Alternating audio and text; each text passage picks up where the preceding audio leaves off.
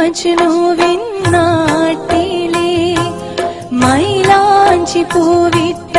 കാട്ടിലെ ബൈത്തുകൾ മൂളുന്ന കാറ്റലെ കണ്ടു